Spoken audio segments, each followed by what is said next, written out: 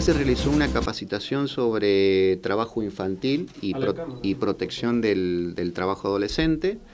Eh, e, en, este sentido, más específicamente orientado a los, a los, temas de salud, trabajando sobre una problemática mundial que afecta eh, a, muchas poblaciones. En, en, nuestro país hay un 10% de trabajo infantil, según la estadística, la última estadística de actividades de niños, niñas y adolescentes. Eh, desde la Subsecretaría de Trabajo como, como policía del, del, trabajo en esta, en esta materia hemos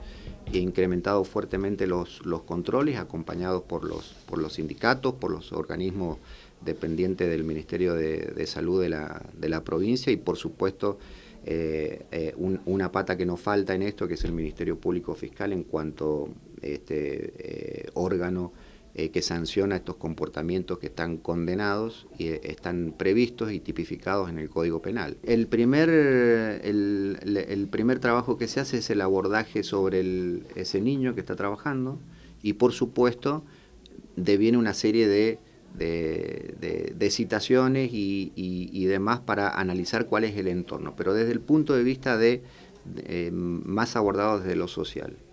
Una vez que está resuelto ese, esa instancia, allí definitivamente la, causa, si es, si se comprueba que ha habido trabajo infantil, eh, pasa a mi, a mi ámbito donde lo analizamos y eventualmente podríamos sancionar. Si después de esa instancia eh, advertimos que hay una figura penal que estuviera eh, que, se estuviera tipificando en ese momento, por supuesto que nuestra obligación es darle inmediata intervención al Ministerio Público Fiscal. Esa articulación, eh, eh, estamos en un proceso de generar, eh, de, aceitar mejor esos mecanismos, porque incluso eventualmente nosotros hemos tenido casos de